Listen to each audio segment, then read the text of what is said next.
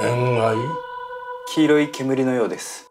ある町の高い煙突の映画で主役に抜擢されたんですよ。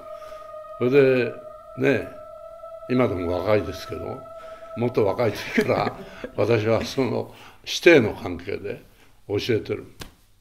それがですよ私を抜いてね 主役をやって私がその後に出ていくというね。えいや今そんなこと言いましたけど。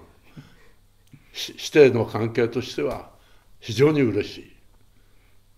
それで出来上がった作品を見たら、まあ、スタッフ監督皆さんのおかげで素敵にできてたと。まああの井出はですねきっとあんな大きな役はあの映像で初めてだろうと思うんで、ええ、おめでとうございました。ありがとうございます。どうだい？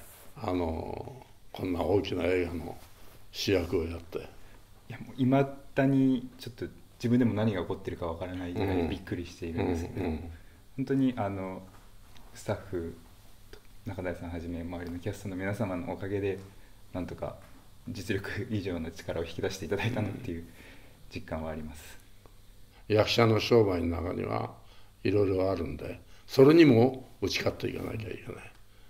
でも打ち破るのはもう自分の努力しかないね、だからまあ頑張れ。